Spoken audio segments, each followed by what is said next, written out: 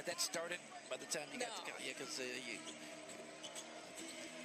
I used to I used to just think he's doing it all wrong. And, and, and what's the advantage of doing that? well, it's hard because you're used to that second step with the left foot, right hand release. It's, it's a lot of different advantages to, to to that move. It just looks so different. Uh-oh. Maledon with the feed and the finish that time. Boy, I love him with this group on the floor as a shooter.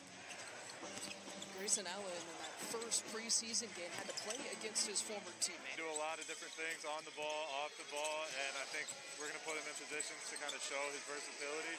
Tonight, he's hitting shots, and it looks really good. So. Kelishvili, who's only really kind of logged about four minutes of playing time in this first half, gets the start. As we're talking about him at halftime, the Maryland Terrapin product. Pat Connaughton